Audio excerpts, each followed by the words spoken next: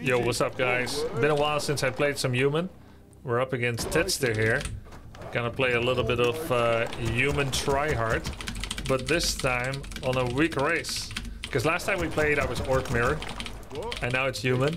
I did just see a very preliminary stat from the W3 Champions ladder, which was probably very preferentially, preferentially sorted by a propagandist on Reddit, who showed that human had all plus 50% win rate matchups. Completely unacceptable according to the Redditor. But he probably sorted it for his uh, particular brand of truth. So human actually strong, supposedly. Small stats though. Oh yeah, gaming mob. You're a human. You're a human. You know, from one human to another. You are one, aren't you? And you wanted to uh, see some human. So let me do a little bit of an over-explain, trying to be. let me do a little bit of an over-explain while we have this opportunity of how to play human against orc. Now, I'm expecting Tetster to be a Farseer player. And here's how I'm gonna do it.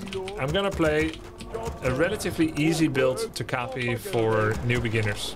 For cute nublets. Relatively easy. So, Human has a kind of like way that they can play like big game hunters style. In a sense that, uh, you know, they can, they can play large.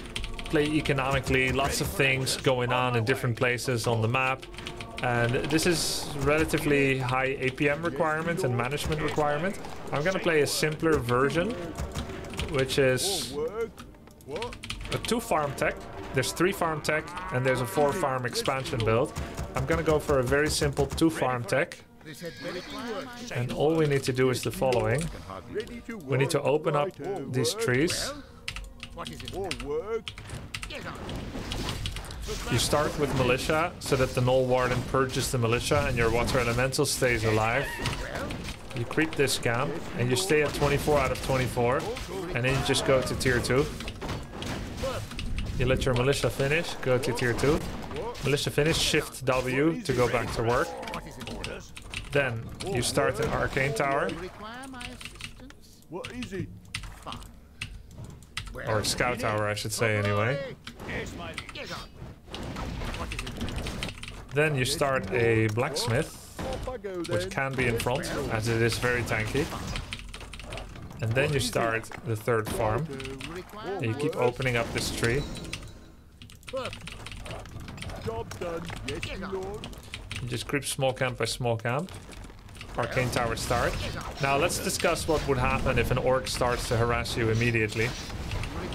What happens is you go stand here and you just keep attacking the wolves with all your Archmage, Water Elemental and Footman.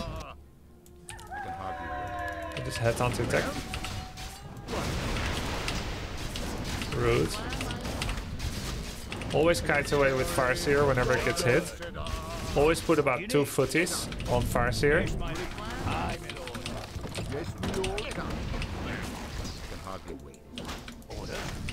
Let your water elementals take the beating. Best thing you can do is just focus Farseer, not Headhunters or Grunt. Because the Farseer, when he's hurt, generally they don't stay. Uh, we're actually skipping production of uh, Arcane Vault because we're going to rely entirely on priest healing.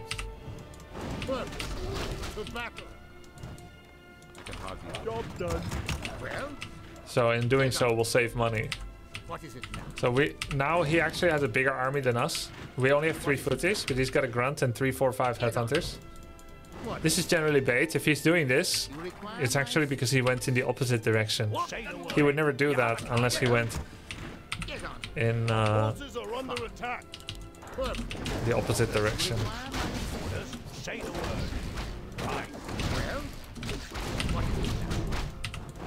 We're just buying time, yeah? Require? Mountain King, Sanctum. Don't let any skirmish you have distract you from starting Mountain King, Sanctum immediately. It's more important than anything. What do you need? Yes, mate. What do you need? What is it now? can hardly wait.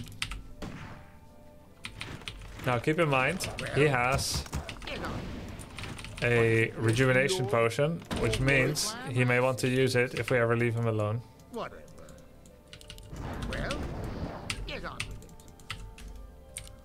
Well, So we don't leave him alone. Job done. Build more forts. Forces are under attack. Nimflori Prostaris Sedar. So the advantage of pushing out in this manner is that you can now turn around and militia creep work. Get on. Yes, a camp with the full certainty that he's on the other side of the map. So you have created space for you to farm on your side. What is it? What is it? Wait till you see me in action. Well, I'll take care of it. What is it? Had we not pushed him out, but he was near us, then it would be opposite. What is it? So try to creep this. Oh, try to creep this only with MK. What is it? What? No one else available. You require my assistance. Yes, my lord. Well, get on with it. What is it? Well, Job's done. for glory. Is my aid. Get on. More You lumber require is required. Get on. You don't want this to ru run back and have him take it. Boots of speed on MK is generally quite important, as is high levels. So we get the boots and now some solo XP. Yes, Mike. Get gunpowder upgrade. Keep your militia on speed dial, like 4, to help for a fight in the middle of the map. Get on with it.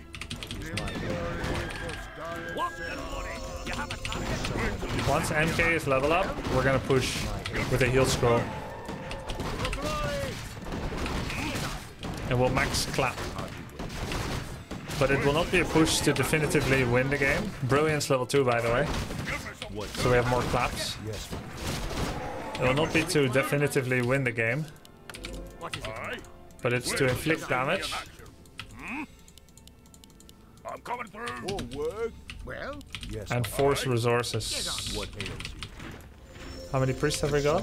We want one more priest. We can make one more militia too. No, we'll make a farm.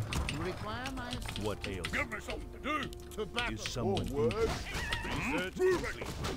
Brilliant. Put him away. Get on. Is my aid required? Wait till you see me in action. You require my Yes,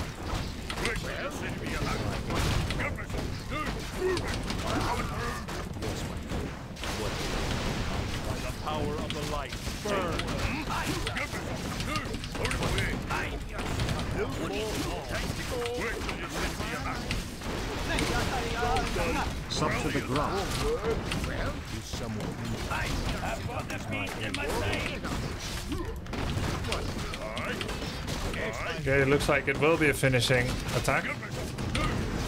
So the reason you don't start a tower is because Vault immediately offers the benefit of being able to buy mana potions and uh, clarities and so on. In fights, you spend most effort to try and dodge the perfect war stomp by splitting your army, and you focus on defensive micro over offensive micro. What are what is the difference? Offensive micro is say for instance this water elemental is his TC that you just click it like this and that you do things like this.